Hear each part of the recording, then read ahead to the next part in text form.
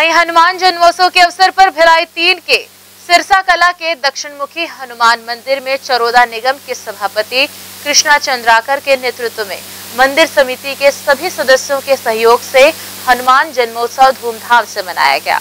इस अवसर पर मुख्य अतिथि के रूप में अहिवारा विधायक व कैबिनेट मंत्री गुरु रुद्र कुमार को लड्डुओं से तौलकर विशाल शोभा यात्रा निकालकर मंत्री गुरु रुद्र कुमार के हाथों महाप्रसाद का वितरण किया गया। इस अवसर पर बड़ी संख्या में लोग शामिल रहे।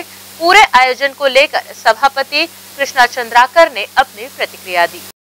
राम सिरसा कला में हर्षोल्लास के साथ जयंती मनाया जा रहा है। हमारे मंत्री आदरणीय जगत गुरु जी भी, रुद्र कुमार जी आए थे और बाइक रैली गाँव को उत्साह के साथ और जैसे पहले भाजपा लोग जय श्री राम बोलते थे, जय श्री राम का नारा, अच्छी बात है।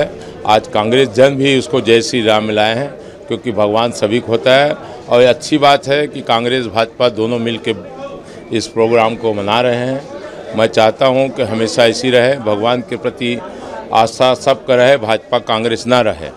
और हमारे आदरणीय सीएम साहब ये बोले हैं, उसने ही शुरू किया है कि श्री राम सब का है। और उसी उत्साह के साथ सब लोग श्री राम जय श्री राम करके नारा लगा के आज हनुमान जयंती मनाए हैं, जिसमें आदरणीय रुद्रगुरु जी शामिल हुए, आदरणीय दुलारी वर्मा जी शामिल हुए, आदरणीय हमारे पार्षद सुषमा जी शामिल हुए, आदरणीय हमारे बड़कू तुंगत जी शामिल हुए, हमारे पार्षद मनीष भाई शामिल हुए दुर्गा भाई पार्षद शामिल हुए, दानी भाई हुए, ऐसा सब बहुत उत्साह के साथ सब लोग शामिल हुए।